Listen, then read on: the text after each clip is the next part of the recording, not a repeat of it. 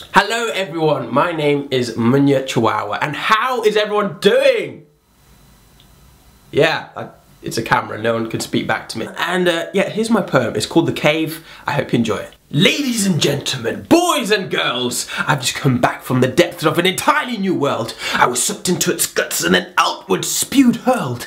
I've just come back from the cave. Ah, but of course, you're human. You don't know about the cave. And if you did, maybe then you'd know how to behave. The roots I've canaled and halitosis I've braved. Very well. I'll tell you about the cave. Well, I mean, first it's the doors, those pink plumped up bounces, the gates over your grinders, the flaps over your flounces. I think the Latin's labia oris. Or is it? Nevertheless, those doors are most exquisite to visit, to bite or to tug on when you snog and you kiss it. This one here is called the Cupid's bow. And here's where your snozzle goes when you blow your nose. The Philtrum Flesh Valley, the slide without twists. I do love the doors, for when they're wonky, you lift.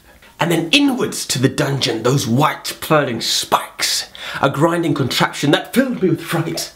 They shred meat off the bone and mishmash into sludge. All 32 tormentors carrying a grudge. No. Carcasses caught in their gaps, I'll never forget the day I saw spinach hanged by its neck. Yes, it's quite awful, really. Those pearly pulverizers come in all different sizes. Those insidious incisors lurk deep down inside us. There's molars and canines and great hairy spiders. Well, if you believe that last bit, you're rather dumb. You could do them back once. They're full of wisdom. Alas, I am inside this wet, womb-like dungeon. Them gizzards and brushes, it's in here that you plunge them. Shh, be quiet, or else you'll awake the pink slithering sluggard of Saliva Lake. Oh, but it's awfully awful, this beast without legs. It'll slide down your larynx when you lie down in bed. Don't antagonize the creature, for with the force of a mallet, it'll crush your cranium between the hard and soft palate. Wiggle it now, and watch the veins spring from your neck. I suppose it's rather agile when you witness it flex.